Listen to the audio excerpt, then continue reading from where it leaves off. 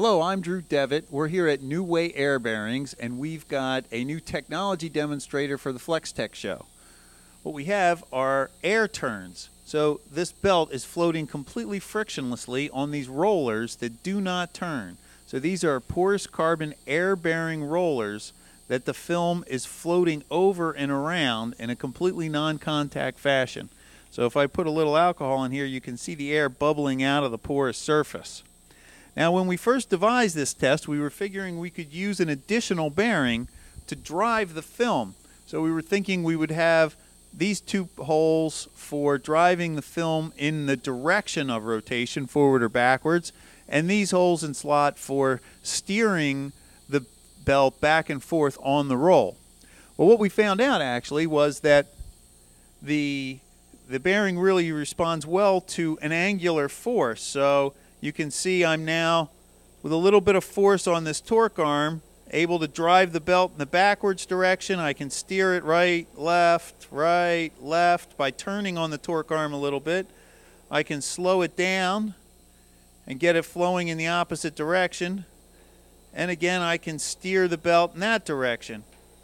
So what we have here is a way of complete non-contact control of a web over rollers that do not turn and do not touch. And we can also control web tension to a fraction of a gram in uh, multiple different areas.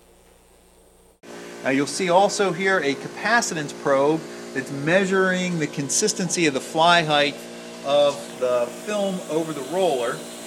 So the maximum deviation that we're seeing is on the order of five ten thousandths of an inch or half a one thousandth of an inch.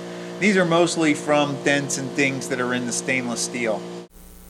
In order to understand the viscous shear effect going on in the gap, we've modified the setup in order to study different variables. We've switched from the stainless steel belt to a flexible film. This film's used in the manufacture of electronic circuits. Uh, you can see flat bearings back here. So we've got one on the bottom that's just a plain bearing. We're shifting out the top bearings. So you can see some of the variables that we've got going here.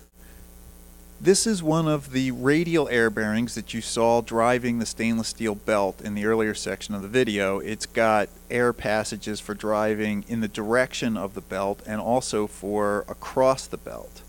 So what we're doing in this current test rig is we are testing three flat bearings. A bearing without any grooves in it, a bearing with the grooves that were going with the direction of the film previously, and the bearing that's in the test setup now has a just a center groove.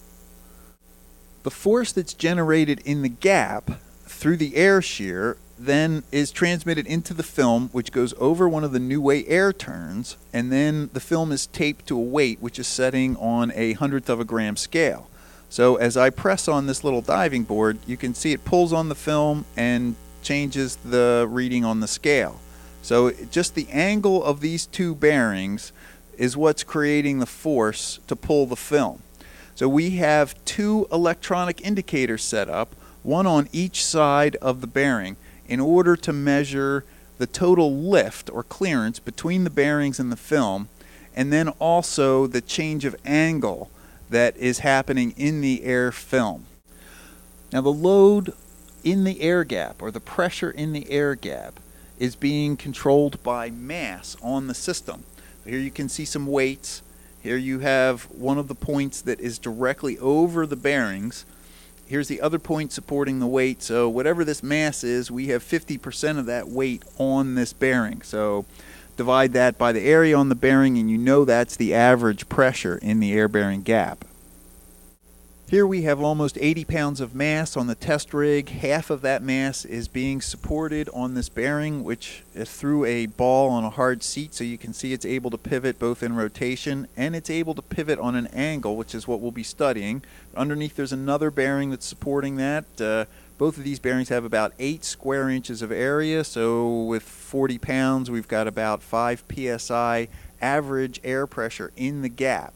Now as I press on this diving board a little you can see the film get taut It's uh, it's pulling over this air turn, which is an, a, a roller that doesn't roll, but it is an air bearing, so there's no friction on this film. And then that transmits to lift down here on the scale, and we're measuring it in grams. So we're understanding the force by placing a known weight, a known distance from the edge of the bearing, and then measuring the tilt in the bearing on the indicator. So we know the fly height, we know the tilt, uh, we know the force or the moment force that we're putting on the bearing, and we're measuring uh, very sensitively uh, the actual force that's being created on the film. So these results will be integrated into a paper and presented at FlexTech in February.